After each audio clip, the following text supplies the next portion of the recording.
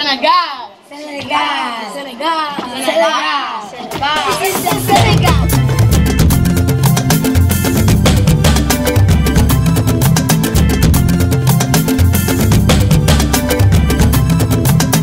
yàkkamti naay nga wan ma sa cofeel sa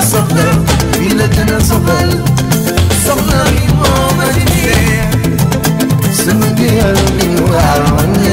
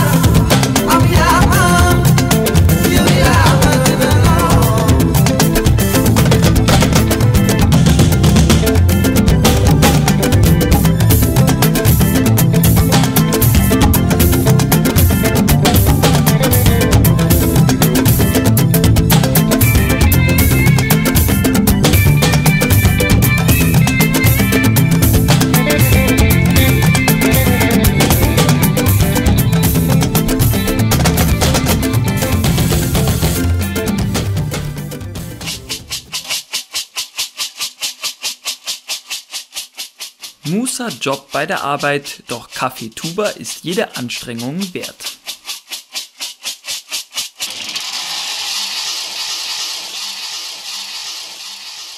Kaffee Tuba, Kaffee Tuba, äh, ganz wichtig irgendwie. Das war ein schöner Start in den Tag und Musa Job hat ja auch äh, seinen eigenen Kaffee Tuba, Ron Heiger. Hat sich auch immer super gefreut, dass ich seinen Kaffee so mag. Ein wichtiger Bestandteil von Kaffee Tuba sind die getrockneten Nelken. Sie verleihen dem Kaffee ein würziges Aroma. Nach einer halben Stunde sind die Kaffeebohnen fertig, dann vermischt Musa Job die weich gerösteten Bohnen mit der richtigen Menge an Nelken. Kaffee Tuba heißt übersetzt Kaffee des Glücks. Er ist im Senegal mehr als ein Heißgetränk. Kaffee Tuba ist das symbolische Getränk im Senegal, ob bei einem alltäglichen Besuch oder einem großen Fest. Kaffee Tuba wird immer serviert. Er gilt als das Geschenk von dem Gründer unserer muslimischen Bruderschaft. Viele Senegalesen brauen ihren Kaffee selbst und verdienen auch damit nebenbei ihren Lebensunterhalt.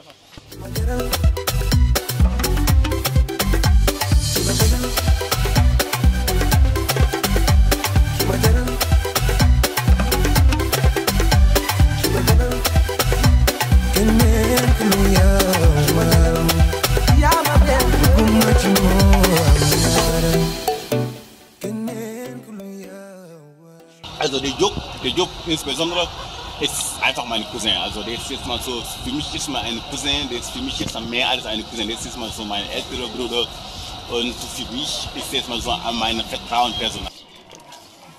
Zurück im Haus der Familie wird der gemahlene Kaffee verkaufsfähig verpackt. Seit mehr als zehn Jahren stellt Musa Job seinen eigenen Kaffeetuber her. Auch bei ihm ist es ein Nebengeschäft, denn eigentlich arbeitet Musa Job am Flughafen in Dakar.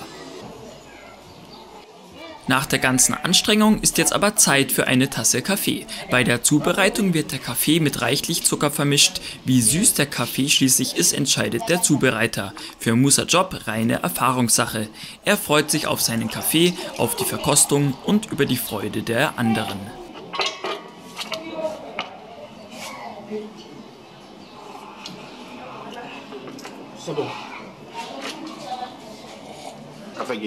Der Kaffee schmeckt sehr gut. Wir danken Musa Diop, dass er uns täglich den Kaffee macht. Ich freue mich einfach, den Kaffee meines Cousins zu trinken. Musa, wie kommt es, dass der Felix mit dir in Senegal fliegt? War das eine Schnapsidee?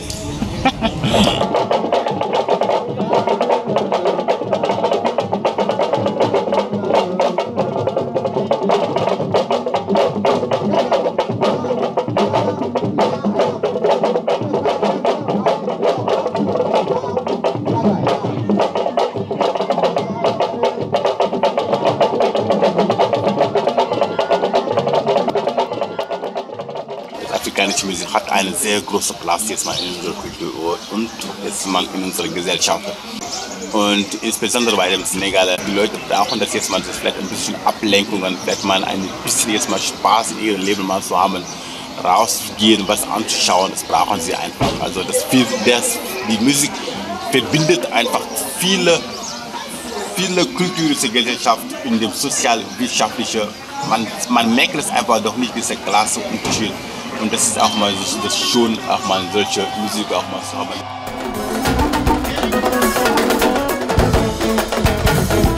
Munasi ay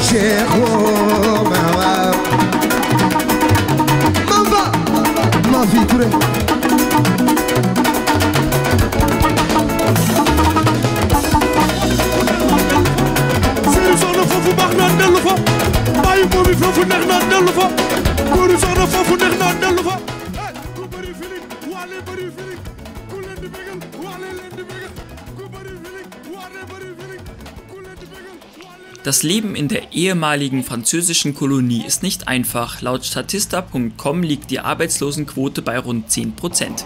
Viele müssen täglich auf unterschiedliche Weise ein bisschen Geld verdienen, damit es für Essen und Trinken reicht. Das Bruttoinlandsprodukt beträgt pro Kopf rund 850 Euro. Zum Vergleich, in Deutschland sind es rund 36.000 Euro.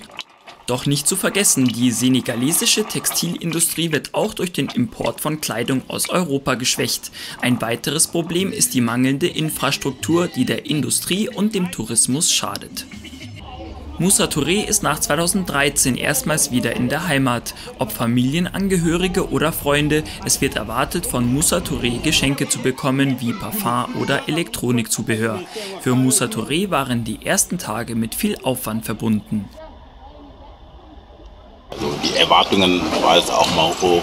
Nach Jahren, also vielleicht mal, dass wir uns nicht Familien gesehen haben. Und äh, genau, von Tür zu Tür nämlich mal hinzugehen und die Familien ganz zu besuchen, auch mal gemeinsam zu frühstücken, gemeinsam zu essen, mit denen auch mal zu quatschen, hat auch mal eine riesige Freude gemacht. Das Verhältnis zu meiner Mom ist immer jetzt, hat man das wird es jetzt jedem Tag zueinander einfach besser. Und äh, genau, also meine Mom ist auch mal ein Teil von meinem Extent. Und äh, wie man auf Senegal sagt, ich bin Einzelkind, ich bin auch mal ihre Extent. Und äh, was ich jetzt mal bin, und äh, sie hat auch mal viel in meinem Leben auch jetzt mal gespielt.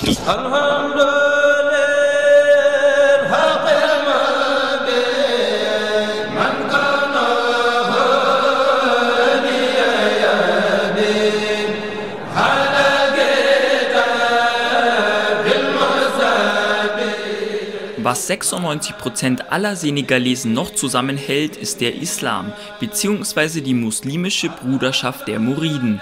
Ihr Gründer ist Amadou Bamba, auch Sring Tuba genannt, der 1887 seine eigene Glaubensstätte errichtet hat. Tuba.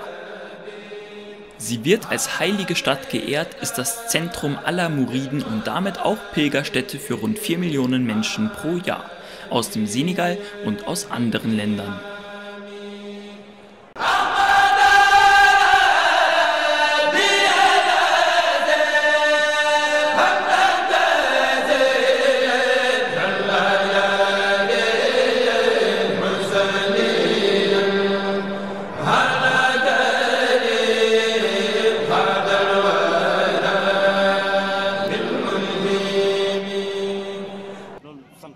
Es hat mich sehr gefreut, mit Musa und Felix an diesen heiligen Ort Tuba zu reisen. Es ist auch eine große Ehre, jemanden von weit her unsere Kultur zeigen zu dürfen.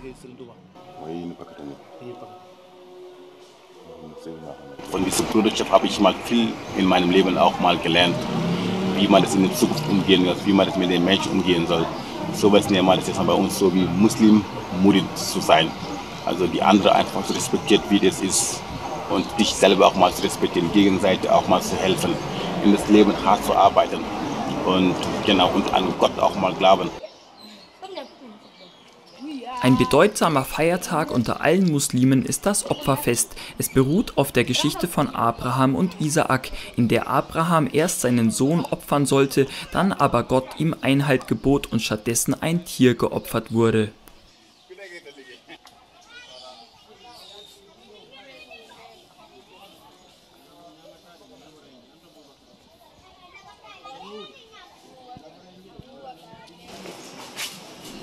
Drei Schafe hat die Familie von Musa Touré geopfert. Nun werden die Tiere im Hof des Hauses gehäutet, die Innereien entfernt und das Fleisch mitsamt der Leber für das gemeinsame Essen zubereitet. Ein Feiertag, um allen Freunden und Verwandten die besten Wünsche zu versichern.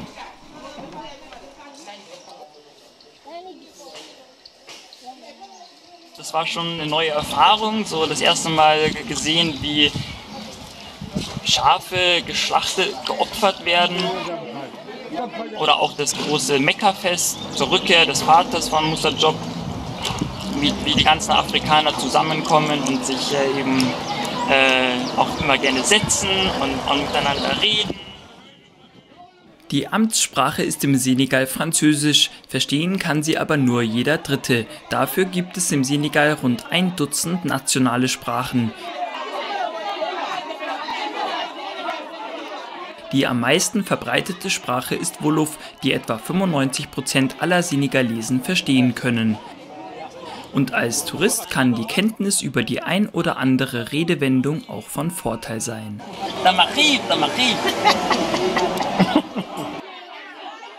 Diese Kleider waren natürlich äh, ganz toll und äh, diese Zubereitungen der, der, der Köstlichkeiten, der, des, der, der Essen äh, super und äh, ja, ist schön, so Feste mitzuerleben.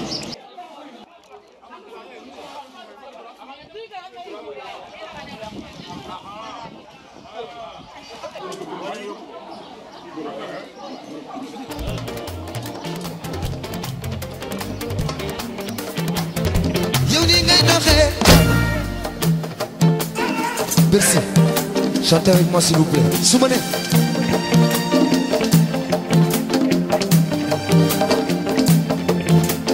Ah, ah.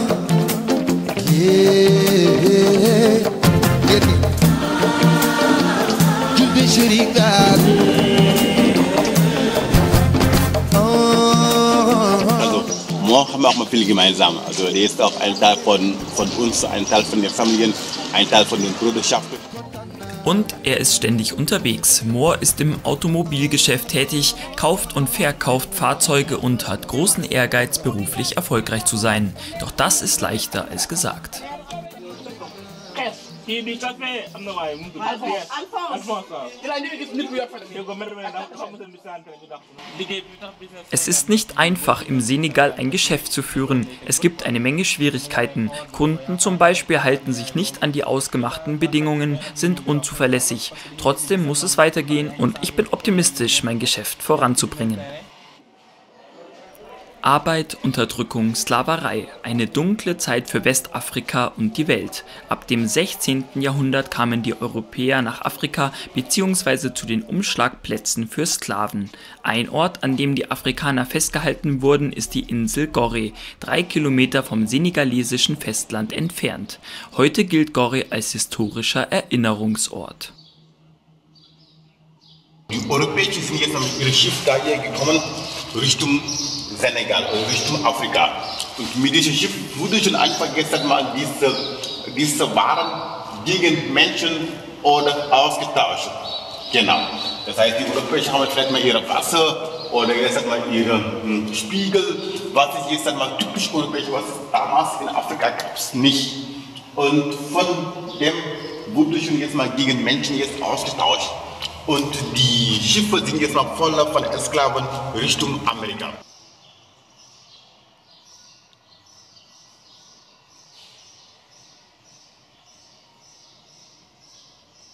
Also es gibt schon äh, dieses Sklavenhaus, wo die jetzt mal erst mal gefangen wurde, bevor sie jetzt mal weiter nach Amerika geschifft sind.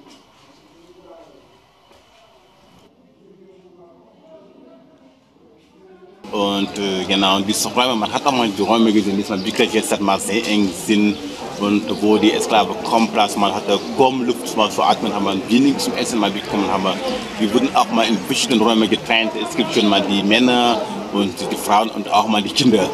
Die waren einfach so mal gestapelt, so wie, mein Gott, so wie Tiere. Und jetzt hat man den Weg, bis äh, Weg, wenn man sagt, äh, the, way, the way on return, also den Weg ohne zurück.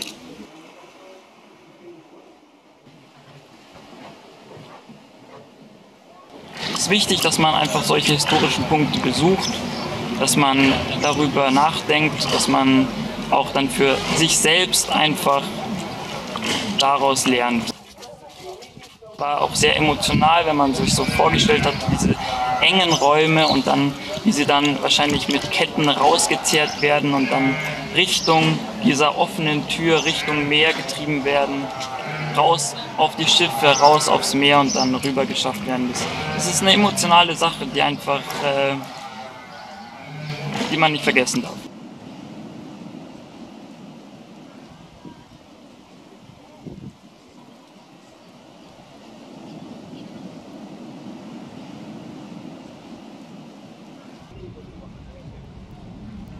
Humor und Job habe ich, hab ich richtig gerne coole Sachen erlebt, Spaß gehabt, Musik gehört, getanzt, whatever. Ähm, auf Wolof immer ein bisschen versucht, sich zu verständigen, war lustig und äh, finde ich einfach super, dass sie da uns auch so geholfen haben mit, mit den Fahrten und äh, mit dem Café und äh, mit den Besuchen und, und so weiter und so weiter. Und, äh, ich mag sie echt gerne und ich freue mich, äh, sie irgendwann wiederzusehen auf jeden Fall. Es war sehr schön, dass Musa und Felix zu uns in den Senegal gekommen sind. Dass Felix hier ist, freut mich und die ganze Familie zusätzlich. Er hat einfach Interesse an unserer Heimat und fühlt sich auch wohl hier. Es ist ein schöner Moment, wie sehr sich Felix bei uns zurechtgefunden hat. Trotz ein paar Schwierigkeiten hat er die Zeit wirklich genossen. Wir haben ihn gern, er hat uns gern. Einfach schön, ihn kennengelernt zu haben.